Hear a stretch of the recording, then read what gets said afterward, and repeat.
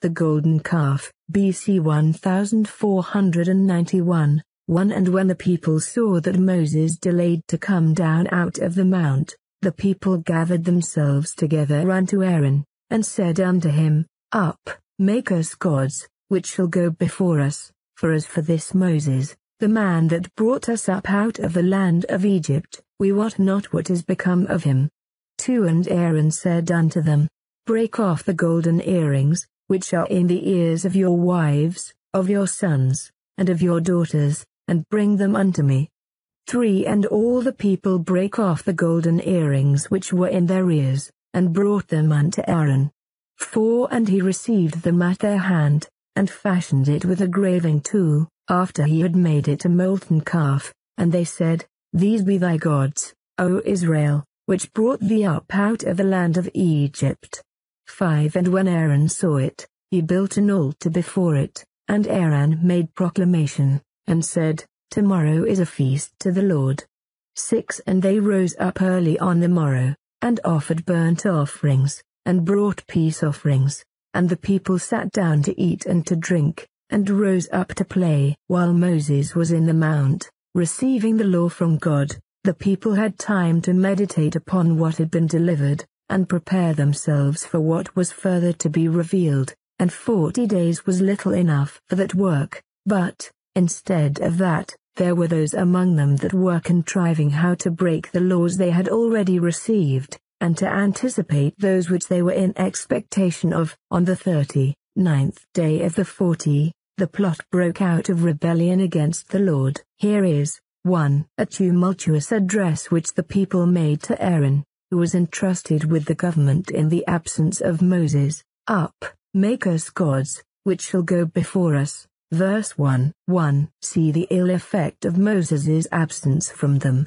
If he had not had God's call both to go and stay, he would not have been altogether free from blame. Those that have the charge of others, as magistrates, ministers, and masters of families, ought not, without just cause, to absent themselves from their charge, lest Satan get advantage thereby. 2. See the fury and violence of a multitude when they are influenced and corrupted by such as lie in wait to deceive. Some few, it is likely, were at first possessed with this humor, while many, who would never have thought of it if they had not put it into their hearts, were brought to follow their pernicious ways and presently such a multitude were carried down the stream that the few who abhorred the proposal durst not so much as enter their protestation against it. Behold how great a matter a little fire kindles. Now what was the matter with the skiddy multitude? 1. They were weary of waiting for the promised land. They thought themselves detained too long at Mount Sinai, though there they lay very safe and very easy, well fed and well taught. Yet they were impatient to be going forward. They had a God that stayed with them, and manifested his presence with them by the cloud. But this would not serve. They must have a God to go before them. They are for hastening to the land flowing with milk and honey, and cannot stay to take their religion along with them. Note, those that would anticipate God's counsels are commonly precipitate in their own. We must first wait for God's law before we catch at his promises. He that believeth doth not make haste, not more haste than good speed. 2.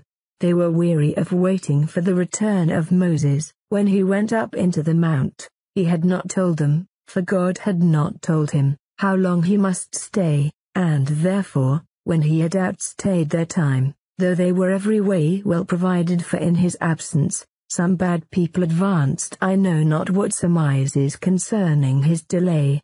As for this Moses, the man that brought us up out of Egypt, we wot not what has become of him. Observe, 1. How slightly they speak of his person, this Moses. Thus ungrateful are they to Moses, who had shown such a tender concern for them, and thus do they walk contrary to God, while God delights to put honor upon him, they delight to put contempt upon him, and this to the face of Aaron his brother, and now his viceroy. Note, the greatest merits cannot secure men from the greatest indignities and affronts in this ungrateful world. 2. how suspiciously they speak of his delay, we wot not what has become of him. They thought he was either consumed by the devouring fire or starved for want of food, as if that God who kept and fed them, who was so unworthy, would not take care for the protection and supply of Moses his favorite. Some of them, who were willing to think well of Moses, perhaps suggested that he was translated to heaven like Enoch, while others that cared not how ill they thought of him insinuated that he had deserted his undertaking, as unable to go on with it, and had returned to his father, in law to keep his flock. All these suggestions were perfectly groundless and absurd, Nothing could be more so, it was easy to tell what had become of him. He was seen to go into the cloud, and the cloud he went into was still seen by all Israel upon the top of the mount. They had all the reason in the world to conclude that he was safe there, if the Lord had been pleased to kill him. He would not have shown him such favors as these. If he tarried long, it was because God had a great deal to say to him, for their good. He resided upon the mount as the ambassador, and he would certainly return as soon as he had finished the business he went upon, and yet they make this the color for their wicked proposal. We wot not what has become of him. Note, first, those that are resolved to think ill, when they have ever so much reason to think well, commonly pretend that they know not what to think. Secondly, Misinterpretations of our Redeemer's delays are the occasion of a great deal of wickedness. Our Lord Jesus has gone up into the Mount of Glory, where he is appearing in the presence of God for us, but out of our sight. The heavens must contain him, must conceal him, that we may live by faith. There he has been long, there he is yet. Hence unbelievers suggest that they know not what has become of him, and ask, where is the promise of his coming? 2 Peter 3. 4. As if, because he has not come yet, he would never come. The wicked servant emboldens himself in his impieties with this consideration, my Lord delays his coming. Thirdly, weariness in waiting betrays us to a great many temptations. This began Saul's ruin. He stayed for Samuel to the last hour of the time appointed, but had not patience to stay that hour. 1 Samuel 13. 8, etc. So Israel here, if they could but have stayed one day longer, would have seen what had become of Moses. The Lord is a God of judgment, and must be waited for till he comes waited for though he tarry, and then we shall not lose our labor, for he that shall come will come, and will not tarry. 3. They were weary of waiting for a divine institution of religious worship among them for that was the thing they were now in expectation of. They were told that they must serve God in this mountain, and fond enough they would be of the pomp and ceremony of it, but, because that was not appointed them so soon as they wished, they would set their own wits on work to devise signs of God's presence with them, and would glory in them, and have a worship of their own invention probably such as they had seen among the Egyptians, for Stephen says that when they said unto Aaron, Make us gods, they did, in heart, turn back into Egypt. Acts 7. 39, 40. This was a very strange motion, up, make us gods. If they knew not what had become of Moses, and thought him lost, it would have been decent for them to have appointed a solemn mourning for him for certain days, but see how soon so great a benefactor is forgotten. If they had said, Moses is lost, make us a governor, there would have been some sense in it, though a great deal of ingratitude to the memory of Moses, and contempt of Aaron and Hur who were left lords, justices in his absence, but to say, Moses is lost, make us a god, was the greatest absurdity imaginable. Was Moses their God? Had he ever pretended to be so? Whatever had become of Moses, was it not evident, beyond contradiction that God was still with them? And had they any room to question his leading their camp who victualled it so well every day? Could they have any other God that would provide so well for them as he had done, nay as he now did? And yet, make us gods, which shall go before us. Gods, how many would they have? Is not one sufficient? Make us gods. and what good would gods of their own making do them? They must have such gods to go before them as could not go themselves further than they were carried. So wretchedly besotted and intoxicated are idolaters. They are mad upon their idols. Jeremiah 50.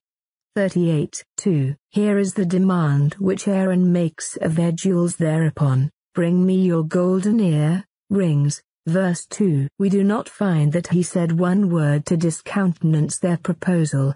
He did not reprove their insolence, did not reason with them to convince them of the sin and folly of it, but seemed to approve the motion, and showed himself not unwilling to humour them in it. One would hope he designed, at first, only to make a jest of it, and, by setting up a ridiculous image among them, to expose the motion, and show them the folly of it. But, if so, it proved ill jesting with sin. It is of dangerous consequence for the unwary fly to play about the candle. Some charitably suppose that when Aaron told them to break off their ear rings and bring them to him, he did it with design to crush the proposal, believing that though their covetousness would have let them lavish gold out of the bag to make an idol of, Isaiah 46.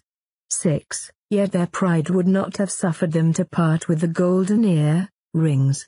But it is not safe to try how far men's sinful lusts will carry them in a sinful way, and what expense they will be at. It proved here a dangerous experiment. 3. Here is the making of the golden calf. Verse 3, 4. 1. The people brought in their ear rings to Aaron, whose demand of them, instead of discouraging the motion, perhaps did rather gratify their superstition, and beget in them a fancy that the gold taken from their ears would be the most acceptable, and would make the most valuable god. Let their readiness to part with their rings to make an idol of shame us out of our niggardliness in the service of the true God. Did they not draw back from the charge of their idolatry? And shall we grudge the expenses of our religion, or starve so good a cause? 2. Aaron melted down their rings, and, having a mold prepared for the purpose, poured the melted gold into it, and then produced it in the shape of an ox or calf, giving it some finishing strokes with a graving tool. Some think that Aaron chose this figure, for a sign or token of the divine presence, because he thought the head and horns of an ox a proper emblem of the divine power, and yet, being so plain and common a thing, he hoped the people would not be so sottish as to worship it, but it is probable that they had learnt of the Egyptians thus to represent the deity, for it is said, Ezekiel 20. 8, They did not forsake the idols of Egypt, and, chapter 23. 8, Neither left she her whoredoms brought from Egypt, thus they changed their glory into the similitude of an ox. Psalms 106. 20 and proclaimed their own folly, beyond that of other idolaters, who worshipped the host of heaven. 4. Having made the calf in Horeb, they worshipped the graven image. Psalms 106. 19. Aaron, seeing the people fond of their calf, was willing yet further to humor them, and he built an altar before it, and proclaimed a feast to the honor of it. Verse 5 a feast of dedication. Yet he calls it a feast to Jehovah, for, brutish as they were, they did not imagine that this image was itself a god, nor did they design to terminate their adoration in the image, but they made it for a representation of the true God, whom they intended to worship in and through this image, and yet this did not excuse them from gross idolatry, any more than it will excuse the papists, whose plea it is that they do not worship the image, but God by the image, so making themselves just such idolaters as the worshippers of the golden calf, whose feast was a feast to Jehovah, and proclaimed to be so, that the most ignorant and unthinking might not mistake it. The people are forward enough to celebrate this feast. Verse 6 They rose up early on the morrow, to show how well pleased they were with the solemnity, and, According to the ancient rites of worship, they offered sacrifice to this new made deity, and then feasted upon the sacrifice, thus having, at the expense of their ear rings, made their god, they endeavor, at the expense of their beasts, To make this God propitious, had they offered these sacrifices immediately to Jehovah, without the intervention of an image, they might, for aught I know, have been accepted. Chapter 20. 24. But having set up an image before them as a symbol of God's presence, and so changed the truth of God into a lie, these sacrifices were an abomination, nothing could be more so. When the idolatry of theirs is spoken of in the New Testament the account of their feast upon the sacrifice is quoted and referred to, 1 Corinthians 10. 7. They sat down to eat and drink of the remainder of what was sacrificed, and then rose up to play, to play the fool, to play the wanton, like God, like worship. They would not have made a calf their god if they had not first made their belly their god. But, when the god was a jest, no marvel that the service was sport. Being vain in their imaginations, they became vain in their worship, so great was this vanity. Now, 1. It was strange that any of the people, especially so great a number of them, should do such a thing, had they not, but the other day, in this very place, heard the voice of the Lord God speaking to them out of the midst of the fire, Thou shalt not make to thyself any graven image. Had they not heard the thunder, seen the lightnings, and felt the earthquake, with the dreadful pomp of which this law was given, had they not been particularly cautioned not to make gods of gold? Chapter 20. 23. Nay, had they not themselves solemnly entered into covenant with God, and promised that all that which he had said unto them they would do, and would be obedient. Chapter 24. 7. And yet, before they stirred from the place where this covenant had been solemnly ratified, and before the cloud was removed from the top of Mount Sinai, thus to break an express command, in defiance of an express threatening that this iniquity should be visited upon them and their children, what shall we think of it? It is a plain indication that the law was no more able to sanctify than it was to justify, by it is the knowledge of sin, but not the cure of it. This is intimated in the emphasis laid upon the place where this sin was committed. Psalms 106. 19. They made a calf in Horeb, the very place where the law was given. It was otherwise with those that received the gospel, they immediately turned from idols. 1 Thessalonians 1. 9. 2.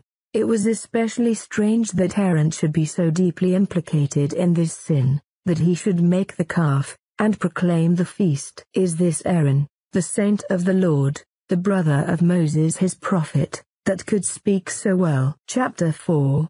14 and yet speaks not one word against this idolatry? Is this he that had not only seen, but had been employed in summoning, the plagues of Egypt, and the judgments, executed upon the gods of the Egyptians? What?